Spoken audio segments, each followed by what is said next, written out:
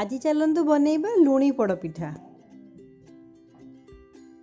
ସାଧା ପୋଡ଼ପିଠା ବା ବିନା ମିଠାର ପୋଡ଼ପିଠା ବନେଇବା ପାଇଁ ମୁଁ ଦୁଇଶହ ଗ୍ରାମ ପାଖାପାଖି ଚାଉଳ ନେଇଛି। ଏଇ ଗ୍ଲାସରେ ଯେତିକି ଚାଉଳ ହେବ ମୁଁ ସେଇ ମାପର ଚାଉଳ ନେଇ ଚାଉଳ ଚୁନା ବନେଇଛି। ପୋଡ଼ପିଠାରେ ବ୍ୟବହାର କରିବା ପାଇଁ ମୁଁ ନେଇଛି ଗୋଟେ ମିଡ଼ିୟମ୍ ସାଇଜ୍ର ଶୁଖିଲା ନଡ଼ିଆ ଦୁଇରୁ ତିନି ଚାମଚ ଗୁଆ ଘିଅ ତେଜପତ୍ର କାଜୁ କିସମିସ୍ ଗୋଲମରିଚ ଗୁଜୁରାତି ଆଉ ଅଦା। ପୋଡ଼ପିଠା ପାଇଁ ମୁଁ ଏଠି ନେଇଛି ତିନିଶହ ଏମ୍ ଏଲ୍ ପାଖାପାଖି କ୍ଷୀର। ପୋଡ଼ପିଠା ବନେଇବା ପାଇଁ ପ୍ରଥମେ ମୁଁ ପ୍ୟାନ୍କୁ ଭଲସେ ଗରମ କରୁଛି। ନେଇଥିବା ନଡ଼ିଆରୁ ଗୋଟେ ଫାଳ ନଡ଼ିଆର ପେଷ୍ଟ ବନେଇ ଏଇ ପୋଡ଼ପିଠାରେ ତାକୁ ବ୍ୟବହାର କରିବି। ପ୍ରଥମେ କ୍ଷୀରକୁ ଭଲସେ ଫୁଟିବା ପର୍ଯ୍ୟନ୍ତ ଛାଡ଼ି ଦିଅନ୍ତୁ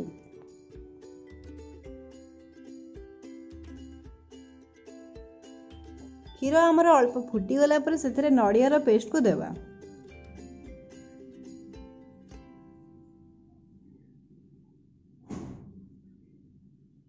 କିଛି କାଜୁ କିସମିସ୍ ଆଉ ଦୁଇଟି ତେଜପତ୍ରକୁ ଦେଇକି ଭଲସେ ଗୋଳେଇ ଦିଅନ୍ତୁ।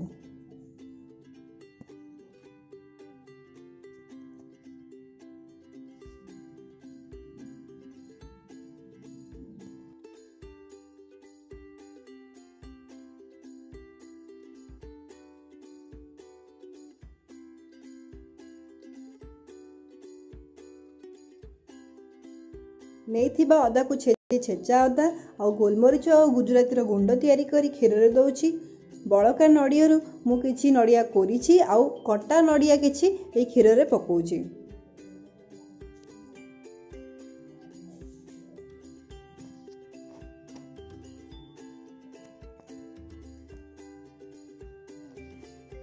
ସବୁ ପକାଇ ସାରିଲା ପରେ କ୍ଷୀରକୁ ଭଲସେ ଗୋଳେଇ ଦିଅନ୍ତୁ ଆଉ ଫୁଟିବା ପାଇଁ ଛାଡ଼ି ଦିଅନ୍ତୁ।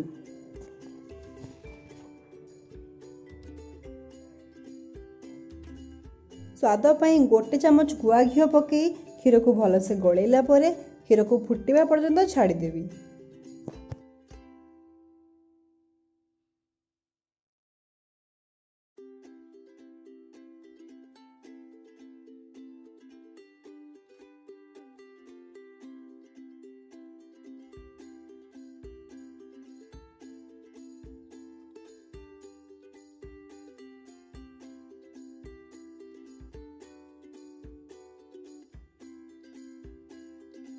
କ୍ଷୀର ଭଲସେ ଫୁଟିଗଲା ପରେ ଆଞ୍ଚକୁ ଧିମା ରଖି ଧୀରେ ଧୀରେ କରି ଚାଉଳ ଗୁଣ୍ଡ ପକାନ୍ତୁ।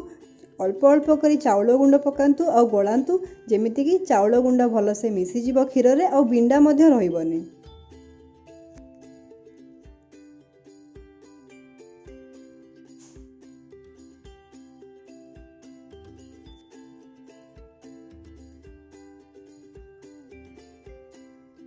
ସ୍ୱାଦ ଅନୁସାରେ ଆପଣ ଲୁଣ ପକାନ୍ତୁ।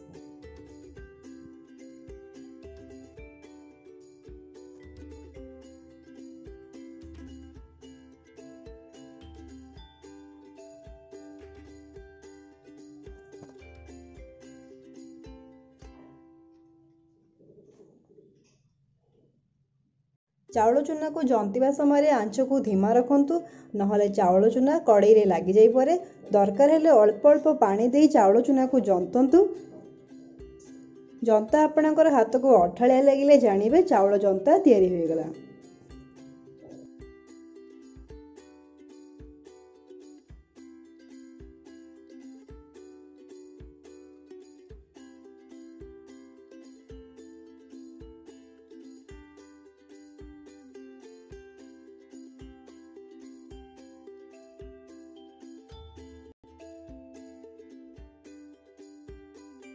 ଚାଉଳ ଚୁନାର ଜନ୍ତା ତିଆରି ହୋଇଗଲା ପରେ ତାକୁ ଥଣ୍ଡା ହେବା ପାଇଁ ଛାଡ଼ି ଦିଅନ୍ତୁ। ପୋଡ଼ପିଠା ବନେଇବା ପାଇଁ ମୁଁ ଏଠି କଡ଼େଇର ବ୍ୟବହାର କରୁଛି। କଡ଼େଇ ବଦଳରେ ଆପଣ ପ୍ରେସର କୁକର କିମ୍ବା ଓଭନରେ ବନେଇ ପାରିବେ। ଏଠି ମୁଁ କଦଳୀ ପତ୍ରକୁ ଛୋଟ ଛୋଟ ପିସ୍ରେ କାଟି ସେଇ କଦଳୀ ପତ୍ରର ପିସ୍କୁ କଡ଼େଇରେ ରଖୁଛି।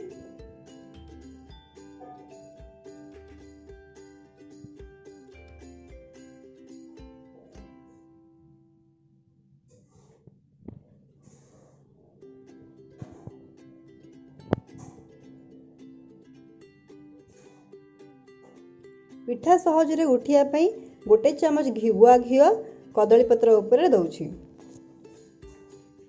ଚାଉଳ ଜନ୍ତାକୁ ହାତରେ ଭଲସେ ଚକଟି ଦିଅନ୍ତୁ।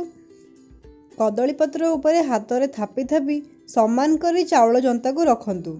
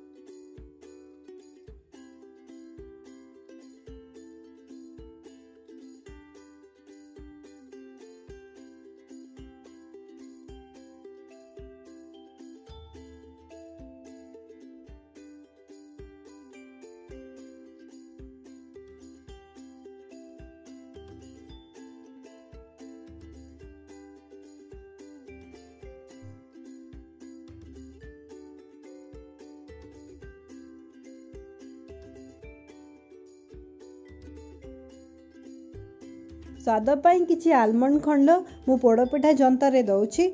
କଡ଼େଇକୁ ଭଲସେ ଢାଙ୍କି କୋଡ଼ିଏରୁ ପଚିଶ ମିନିଟ୍ ପର୍ଯ୍ୟନ୍ତ ଛାଡ଼ି ଦିଅନ୍ତୁ ଆଉ ଆଞ୍ଚକୁ ଧିମା ନିଶ୍ଚୟ ରଖିବେ। ଅଧିକ ସମୟ ପୋଡ଼ପିଠା ଆଞ୍ଚରେ ରହିଲେ ପିଠା ଶୁଖିଲା ହେଇଯାଏ।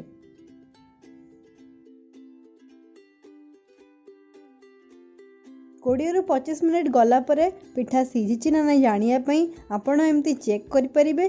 ପିଠା ମୋର ଏଠି ସିଝି ଯାଇଛି। ତ ମୁଁ ଏବେ ପିଠାକୁ ଥଣ୍ଡା ହେବା ପାଇଁ ଛାଡ଼ିଦେବି। ପିଠା ଯେତେ ମୋଟା ହେବ ସିଝିବା ପାଇଁ ସେତେ ଅଧିକ ସମୟ ଲାଗେ।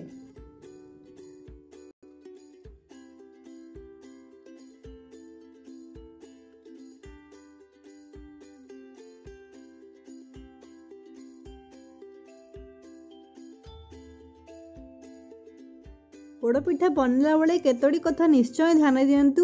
ଯେମିତିକି ଚାଉଳକୁ ଭଲସେ ଜନ୍ତିଲେ ପୋଡ଼ପିଠା ଆମର ନରମ ରହେ ଆଉ ଆଞ୍ଚକୁ ସବୁବେଳେ ଧିମା ରଖି ପୋଡ଼ପିଠା ବନାନ୍ତୁ। ଭିଡ଼ିଓଟି ଭଲ ଲାଗିଲେ ଲାଇକ୍ କରନ୍ତୁ ସେୟାର କରନ୍ତୁ ଆଉ ଆମ ଚ୍ୟାନେଲକୁ ସବସ୍କ୍ରାଇବ୍ କରନ୍ତୁ।